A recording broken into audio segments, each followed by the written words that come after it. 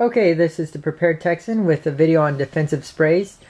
Um, I don't know how many of you have seen it, but there are videos going around the internet, and there are some experts claiming that wasp and hornet spray is a is a viable option uh, for self-defense. Um, I'd like to talk a little bit about that and kind of negate that myth. This is not a viable option. Let me just put that out there right now. Um, first of all, it's untested on humans. Uh, it's unsure what exact long term effects there might be. Um, the short term effects, it says on here, if you read it,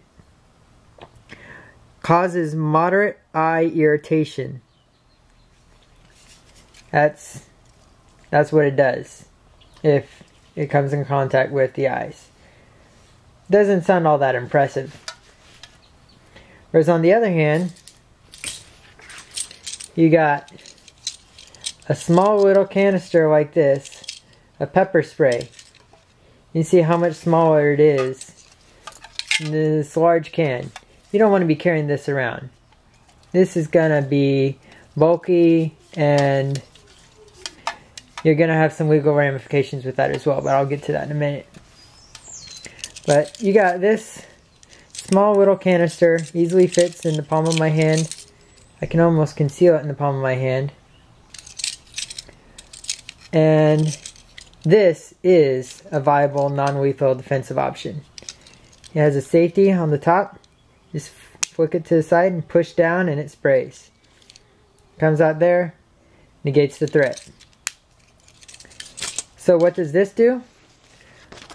Well, if you read on the back, on this one it says, uh, this particular brand is Sabre, made this particular pepper spray. It says Sabre can incapacitate the attacker for up to one hour. The effects are severe burning sensation in the eyes with copious tears, coughing, and difficulty in breathing. The eyes close involuntarily the nose runs and moist skin stings. So I don't know about you, but to me, that sounds much more effective. This particular pepper spray includes red pepper, a CS military tear gas, and a UV marking dye for identifying the attacker. Um, you do see that it says that it's used by Houston, Dallas, and New York police departments. It's a maximum strength 3 in 1 formula. And this particular one came with the practice canister. So, not only is this more effective, but let's talk about some legal ramifications. This here, wasp and hornet spray. The intended purpose, killing wasps and hornets, obviously. Now on the back, once again, we're going to the back. Let's see. Right here. It says, It is a violation of federal law to use this product in a manner inconsistent with its labeling.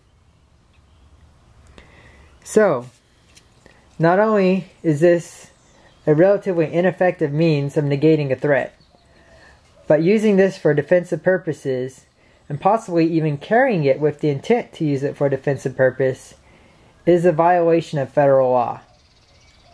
So, those are just a few things to think about before you buy the gimmick and get a can of wasp spray for $2. Why don't you consider instead getting something more effective, more legal, and more easily carried? Can easily stick this on your belt, inside your belt, in a purse, in a pocket, on a keychain, whatever. Think about spending just a few extra bucks and investing in something like this. This particular one was around 9 or $10 and it came with the practice canister. There are cheaper ones out there and this is a much better, viable, non-lethal option. So anyway, that's it. This is the Prepared Texan.